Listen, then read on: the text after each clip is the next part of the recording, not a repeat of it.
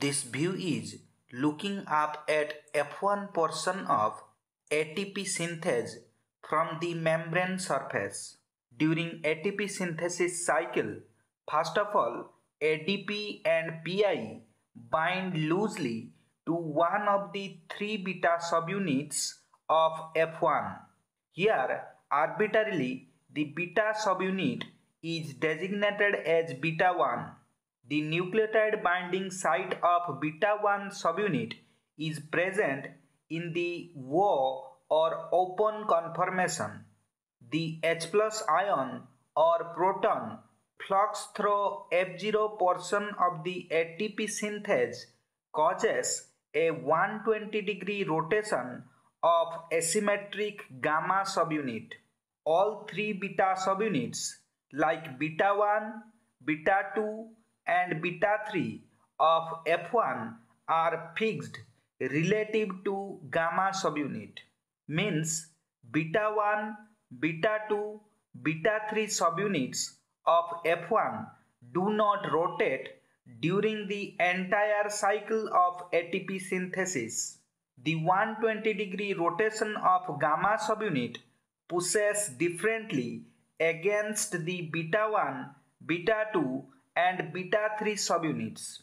As a result of this push, the beta 1 subunit undergoes a conformational change from O to L or open to loose.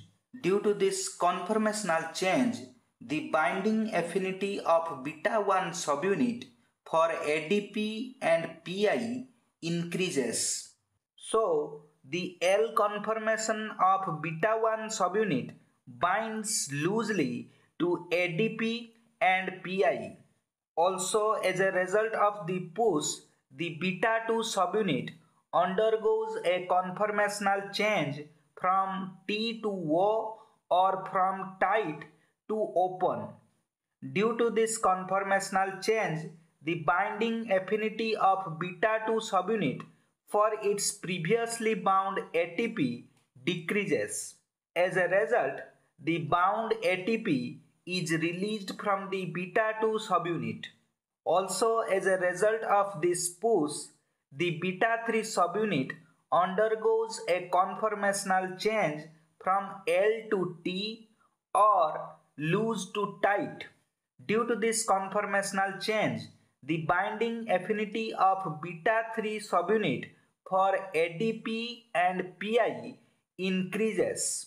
So, the beta 3 subunit in its T or tight conformation tightly binds to previously bound ADP and PI.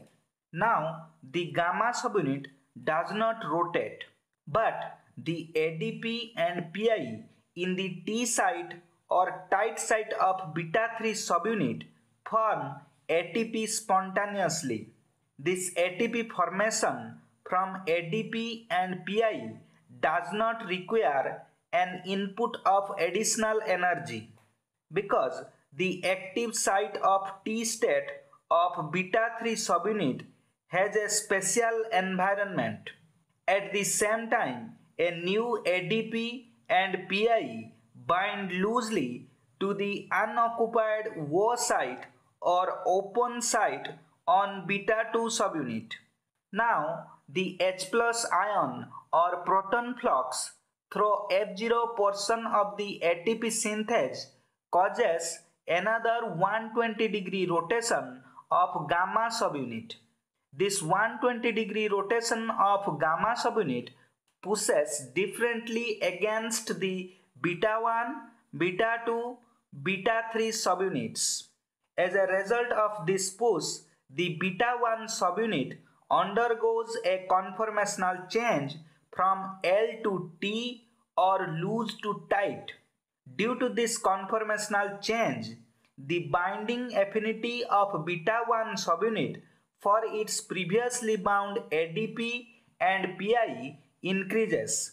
So, the beta 1 subunit binds more tightly to the previously bound ADP and PI. Also, as a result of the push, the beta 2 subunit undergoes a conformational change from O to L or open to loose. Due to this conformational change, the binding affinity of beta 2 subunit for previously bound ADP and PI increases. So, the L conformation of beta 2 subunit binds loosely to previously bound ADP and PI. Also, as a result of the push, the beta 3 subunit undergoes a conformational change from T to O or tight to open. Due to this conformational change, the binding affinity of beta 3 subunit for its previously bound ATP decreases.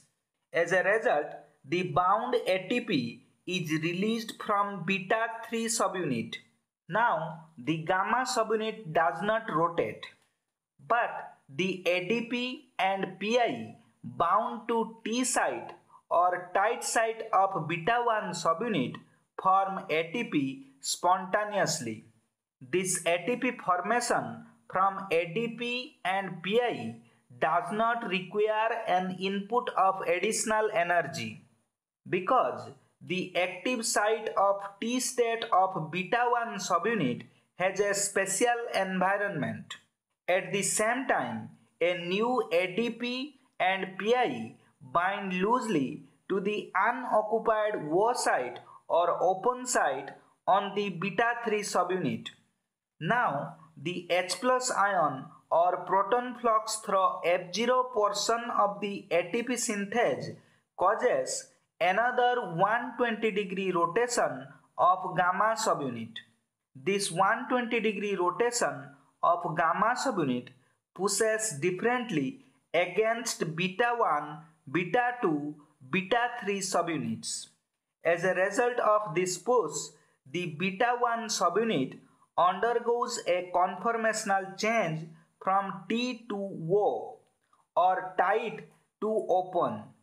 Due to this conformational change, the binding affinity of beta 1 subunit for its previously bound ATP decreases.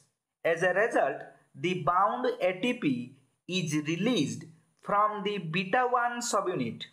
Also, as a result of the push, the beta 2 subunit undergoes a conformational change from L to T or loose to tight. Due to this conformational change, the binding affinity of beta 2 subunit for its previously bound ADP and PI increases.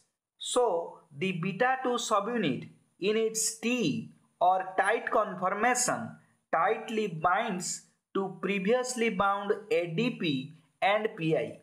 Also, as a result of the push, the beta 3 subunit undergoes a conformational change from O to L or open to loose. Due to this conformational change, the binding affinity of beta 3 subunit for its previously bound ADP and PI increases.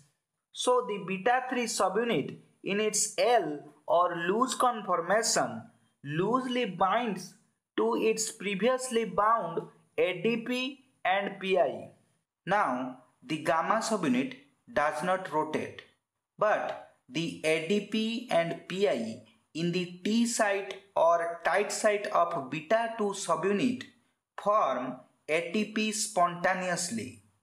This ATP formation from ADP and PI does not require an input of additional energy because the active site of T state of beta 2 subunit has a special environment.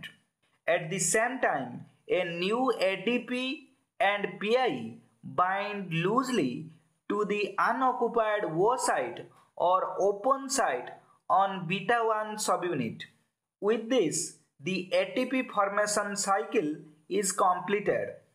This complete cycle of ATP formation in which the gamma subunit rotates 360 degree produces 3 ATPs. Please like, subscribe and share.